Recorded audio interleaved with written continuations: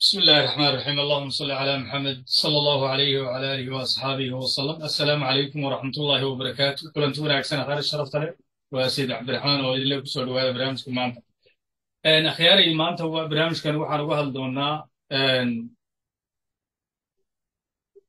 sheekadan had iyo jeer soomaalidu ay maaragtay ka sheekayso oo isla dhex marto ee ku saabsan ninkii la yidhi boqor buu ahaa yuhuudiya oo dhulka soomaalida xukumi jiray ninka oo la odhan jiray bucur bacayr yani insha allahu tacaala bal ka hadli doonaa waxaynu ka ognahay yaynu ka hadli doonaa hadduu ilaa yidhaahdo. Marka si aad ogtihiin ninkan waxaa la sheegaa inuu dhulka soomaaliyeed gaar ahaan gobollada waqooyi uu xukumi jiray gaar ahaan waxaa la yidhi wuxuu fadhiyi jiray. Magaalo ku talla duleedka magaalada hargeysa oo la yidhahdo awbar hadle intaynaan markaa ninkan u gelin waxaa kaloo idiin sheegayaa wakhtigii nebi muuse calayhi salaam oo laga joogo saddex kun iyo laba boqol oo sano ka hor ayaa waxaa jiri jiray nin reer bani israa'iila oo ninkan isku soo magac dhawaayeen. Ninkaasi waa ninka qisadiisu way ku jirtaa maaragtay youtube janalkayga ninkaas waxaa la oran jiray waxaa la oran jiray baclam ibnu bucuura ayaa la oran jiray magaciisa ninkani macnaha waan dul marhayaa taarikhdiisoo go'aan qofka doonaya video taarikhdiisoo buuxda halkaas ku jirtaa qur'aanka waxaa lagu sheegay suuradda toddobaad ee qur'aanka suurat alacraaf aayadda boqol shan iyo toddobaatanaad.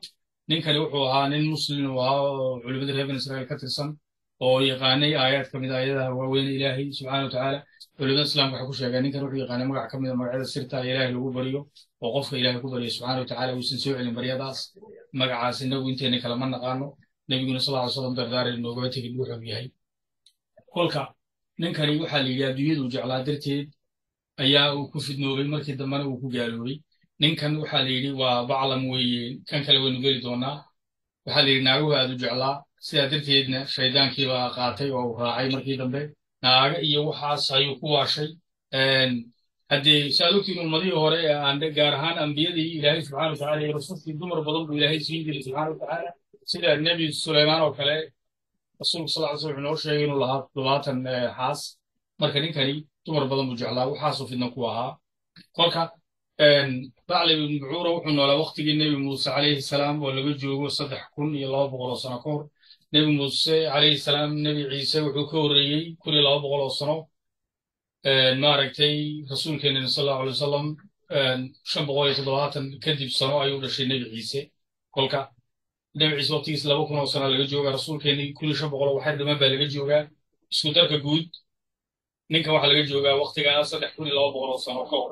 Hase yeeshee cumar bacayr waxaa lagu sheegaa inuu noolaa taariikhda milaadiga markay ahayd kun iyo saddex boqol kun iyo saddex boqol oo ah inta badan taariikhda la isku raacay inay maaragtay dadka soomaaliyeed ee gudaha ku jira xoolo dhaqatada ay diin islaamka qaateen. Ogaada hadda xeebaha soomaalida sida magaalada maaragtay maaragtay saylac oo kale waktigii nebiga sal allahu alay slam intuuna haajirin ka hor oo uusan maka u haajirin ayay muslim ahaayeen waana sababta keentay masaajidka la yidhaahdo almasjid maaragtay qiblatayn ee ku yaalla magaalada saylac labada qimrale taasoo kale ah markii nebiga sal ly slam ilaahay ku amray inuu qiblada u wareejiyo baytulquds oo maka ka wareejiyo kadibna maka lagu soo celiyo marka masaajidkani saasoo kale weeye. Marka magaaladani iyo xeebaha soomaaliyeed dadka muslimka ee soomaalidu waxay diinta islaamka qaateen waktigii nebiga sal alay slam hase yeeshee xoolo dhaqatadii soomaalida gudaha ku jirtay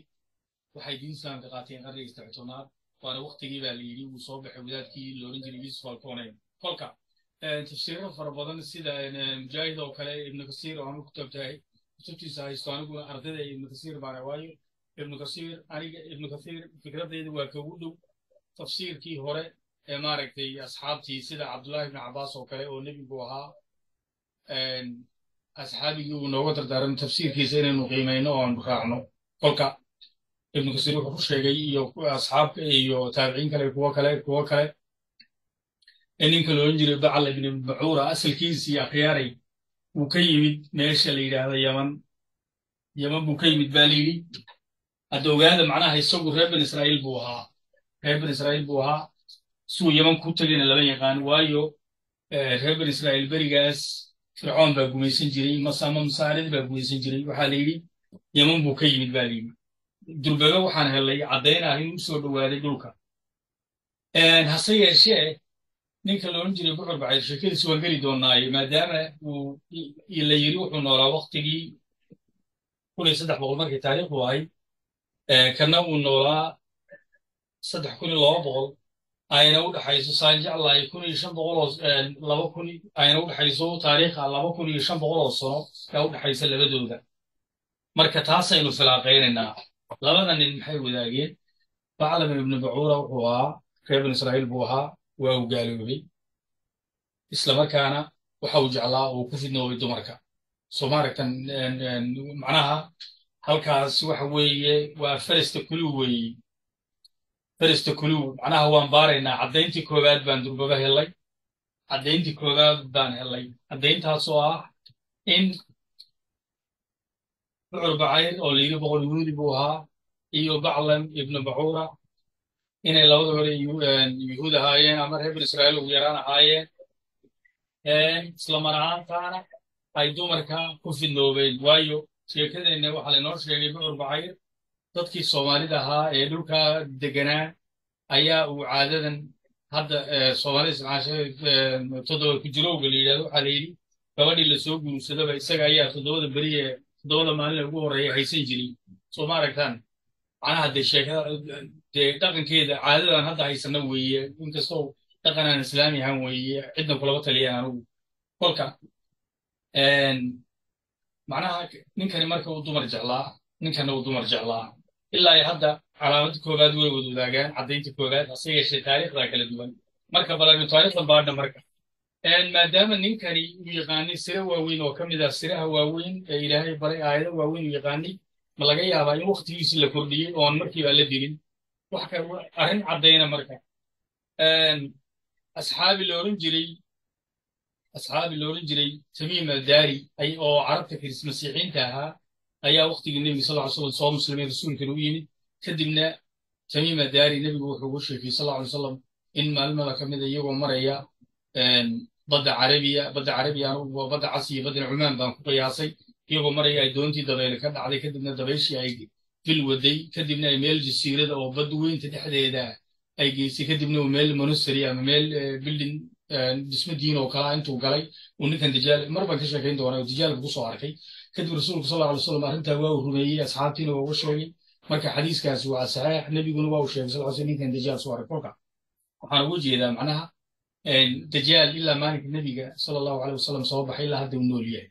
Soo ma hadduuna hortii hore nooleenba kolka dajaal maadaama hadda nebiga laga joogo ku dhowaad kun shan boqol oo sano ka hor sal allahu alay wasalam waqtigiisa rasuulka laga joogo dee dajaal ugu yaraan kun shan boqol oo sano u jiraa. Kolka ninkani maadaama uu aayado waaweyn yaqaanay lana fidneeyey ilaahayna noo sheegay inuu shaydaan raacay aakhirana dee cadaab buu tegayaa. Maadaama uu aayado weyn yaqaanay sida dajaal oo kalena ma laga yaabaa in la fidneeyey oo waqti dheer la siiyey kadibna laba kun iyo shan boqoloo sano maaragtay inta u dhaxaysa inuu jiray oo isla ninkan yahay ma naqaan laakiin waxaan ilaa hadda hubnaa in ninkan uu yuhuudi ahaa dumarkani lagu fidneeyey ninkanna inuu yuhuudi ahaa kan soomaaliga joogay ee la yidhaha bucur bacayr dumarkani lagu fidneeyey. Waa laba calaamadood. Magacyadooduna aad bay isugu dhow yihiin baclam ibnu bacuura waa sida uu carabiga yahay weeye kana waa bucur bacayr fiiri. Baclam aad bay isugu dhow ogaada hadda magacyadu fiidooyo badan baan uga hadlay. Magacyo badanoo waxaa jira isku soo dhow laakiin macnaha maaragtay kala duwanaada oo xarfa xarafka hore xarafka dambe ama saas oo kale shaqal dheer shaqal gaaban qaata waxaasoo miiran shibanayaasha ereyadu waa kala bedelaan karaa laakiin similarity waa leeyihiin marka ninkani waxaa la yidhi bucur bacayr waqtigaasuu noolaa magaalada meesha u barkhada la yidhaahdo ee hargeysa banaankeeda ayagu joogay dadkii soomaalida ahaa ee dhulka deganaa ee xoola dhaqatada ahaa weli diin islaamka gaadhin ogaadaya ayaa waxaa la naagtii soo gursado toddoba beri buu haysan jiray. Ninkan haddaba bucur bacayr hadda ka hor labada kun markii taariikhdu ahayd ayaan website un tu leedahay. Hadda waa laga saaray.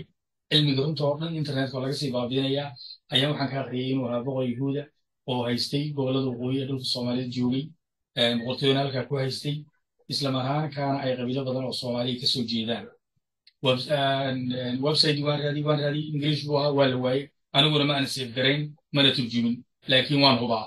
Kolka waxaa kaloo jirta waxaa kaloon joornaalada ka akriyay berigaas in ugaas la yidhi waa nin ugaas u ahaa oo beesha yidhi ee soomaali ka tirsan inuu sheegtay inay iyagu yihiin maaragtay juushkii soomaaliya degi jiray inay yihiin islamarkaana yabrooyin halkaa ka soo jeedaan afurkoodii dadka yibirkana saan ognahay khiyaaray waa dadka macnaha sheegta in bucur bacayr bucurkoodii boqorkoodii ahaa uuna dilay sheekhii la oran jiray sheekh yuusuf alkooneyn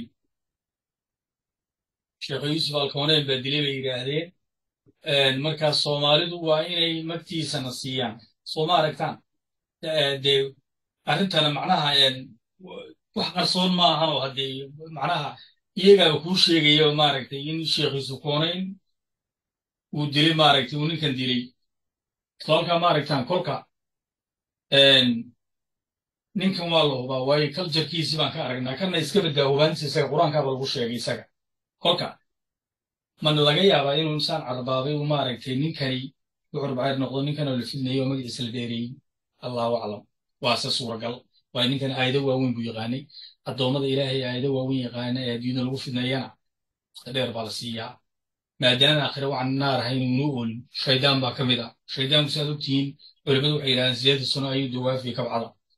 Sharkiisa iyo fidnadiisa allah naga badbaadiyey. Kolka ninkani ani waxaan qiyaasayaa inuu ninkan yahay si uun ninku leeyahay. Labadan taariikh isma qabanayaan waayo waxaa u kala dhexeeya laba kun iyo shan boqol oo sano ka hor. Hase yeeshee waxaa laga yaabaa ninkan la fidneeyey oo waqti dheer la siiyey ama uu somehow si uun ligugu leeyahay ninkan. Waayo already macnaha waxaan establish garaynay amaan caddaynay amaan muujinay inay labaduba reer bin israa'iil ahaayeen labaduba dumarka ku fidnaysan magacoodina uu very similar yahay. Magacoodina aad iyo aad iskugu dhow yahay. Maxaa macnaha waa macnaha low of probability haddaan isticmaalo. Waa isku dhow yihiin. Kolka ninkani waxaa la yidhi saasuu ahaan jiray kadib waa wadaadkan sheekh sukoonayn oo ka mid ahaa dadkii diinta islaamka soomaalida fidiyey wadaadkan carab buu ahaa waxa caraba waxaa muujinaya soomaalida markuu diinta islaamka barayey soomaalida luqadda carabiga ayaa dhib ku noqotay.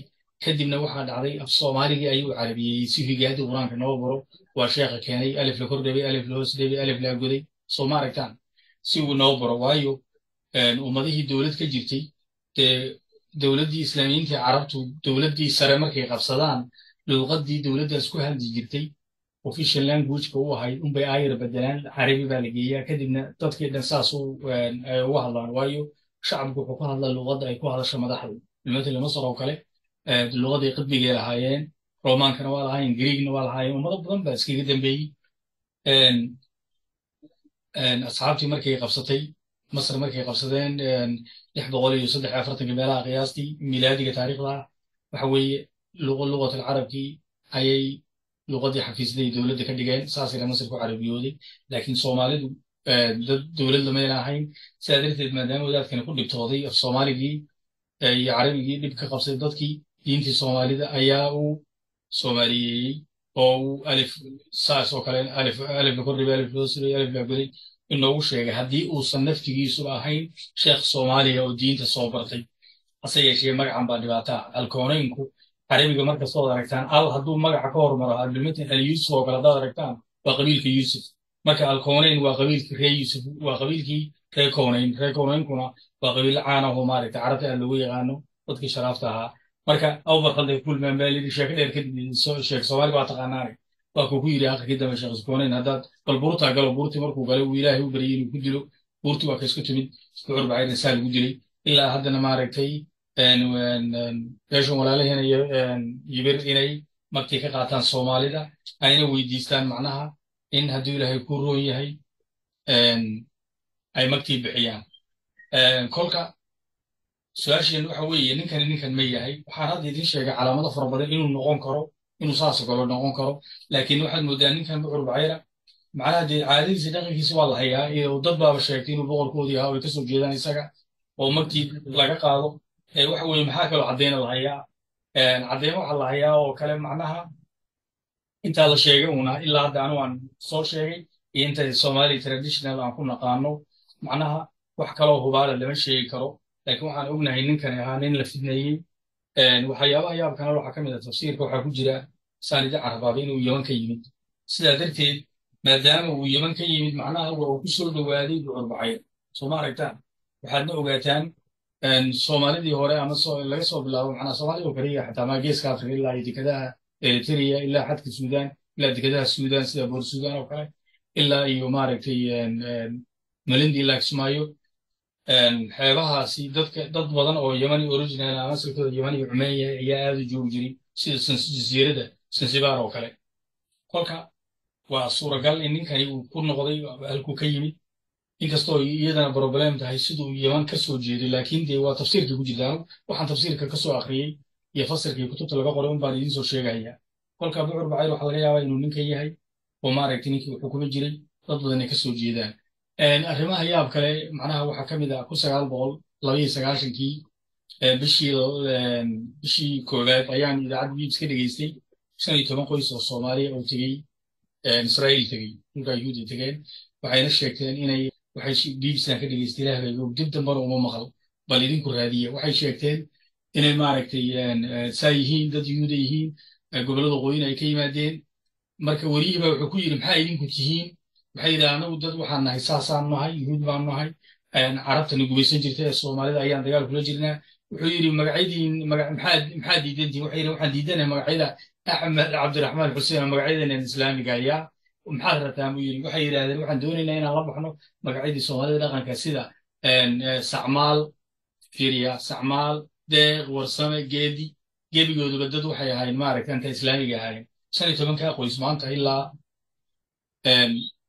macnaha saddex boqoloo qoys bay ahaayeen wallahi ma xusuusto laakiin ilaa shan iyo toban ilaa saddex boqoloo qoys maanta dib waa kumanaan dadkaas xagee jiraan dadka dadkaas waa yaab marka biyadacay wuxuu yahay wixii isku soo duuduub waraysiga bbcda ka raadiya waad heli doontaan ama qof bbcda ka shaqeeyo la hele raadiya badankiinu dad yar ba ahaydeen anigu markaas maaragtay labaatan jir baan ahaa adigu ko iyo labaatan jir markaan waraysigaa maqlay had iyo jeerna dadka markaan yaraa idaacadaha aad baan u dhegeysan jiray. Kolka ninkan bucur bacayra soomaaliya dad badan buu ku yeeshay dad badan buu maaragtay farcamay oo ku yeeshay. Laakiin ma naqaan haddii waxay kale yihiin. Si kastay noqoto dee su'aalihin baan waxaan u malayn sii balaariyey waa taariikh luntay ee hala raadiyo. Khiyaaray intaa kadib waxaan ka codsanayaa maaragtay janalkan haddaadan subscribe ahayn subscribe like share sayidka loo kala kiciyo. Assalaamu calaykum waraxmatullahi wabarakaatu